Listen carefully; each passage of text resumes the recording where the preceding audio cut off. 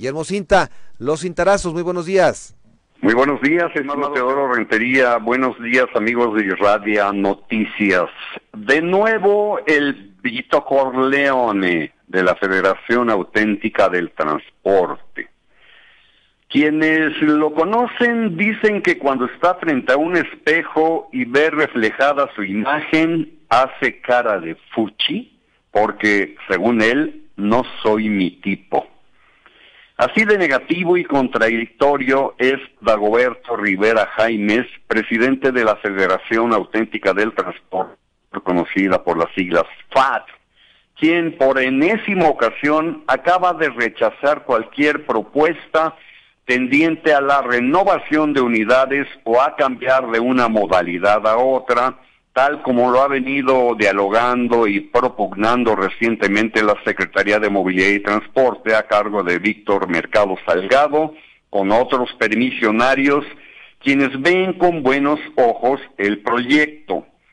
La pandemia ha sido la mejor justificante para cualquier número de instituciones burocráticas, por ejemplo el SAT federal, donde es imposible conseguir citas, y grupúsculos clientelares o de negociantes que operan bajo condiciones irregulares, entre ellos los permisionarios del transporte público, para negarse a cualquier avance o modernización.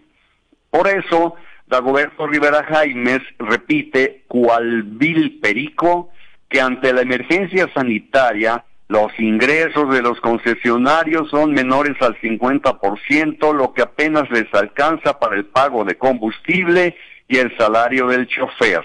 Por tal razón, admitió o arguyó el cambio de vehículos para garantizar un mejor servicio no está dentro de sus planes a futuro. Infortunadamente para los usuarios del transporte público, eso mismo ha expresado Dagoberto Rivera Jaimes desde hace varios lustros, años antes de la aparición del nuevo coronavirus COVID-19 en tierras morelenses.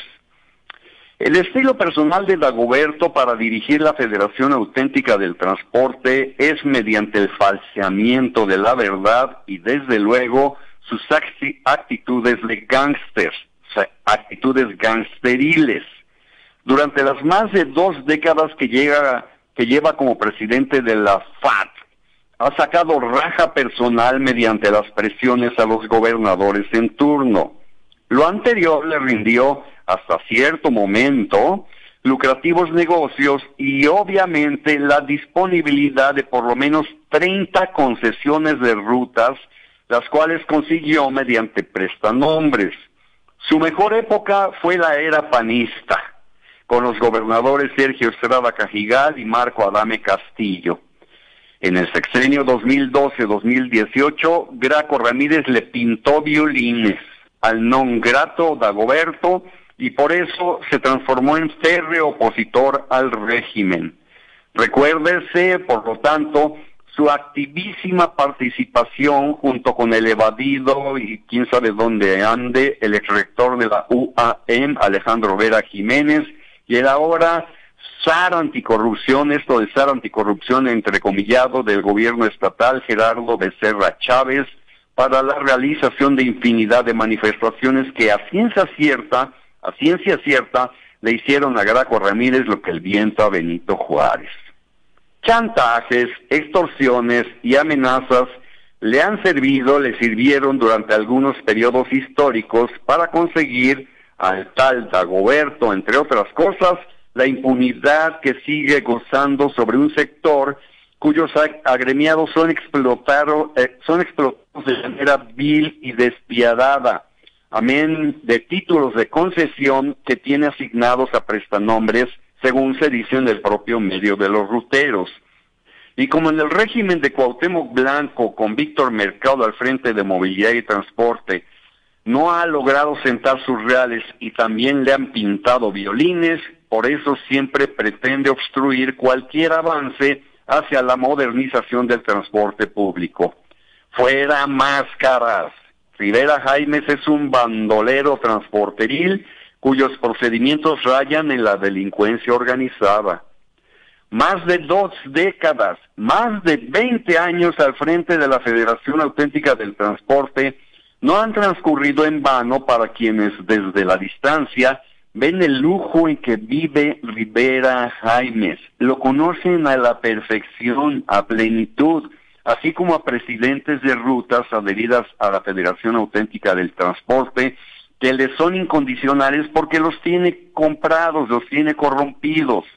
Pero nadie entre los permisionarios íntegros y honestos se atreve a protestar ni a exigir mejores condiciones laborales porque Rivera Jaimes y la mayoría de presidentes de los, de, los derroteros o rutas son cómplices y recurren a métodos de gángsters para hacer sentir su presencia.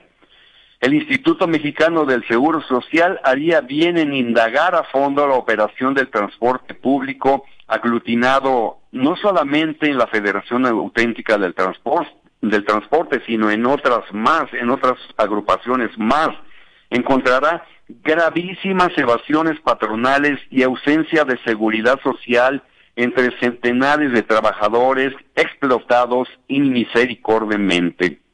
Esto, lamentablemente, como ya lo dije, se repite en otras organizaciones de transportistas con y sin itinerario fijo. El titular del Seguro Social en Morelos, Miguel Ángel Van Puga, se notaría un enorme triunfo, un gran triunfo a su favor se audita a fondo la situación de todas las rutas. Ni el mismísimo Dagoberto Rivera aguantaría una revisión al pago de sus cuotas patronales porque no existen. Señoras y señores, les deseo a todos ustedes que tengan un feliz viernes y desde luego un magnífico fin de semana.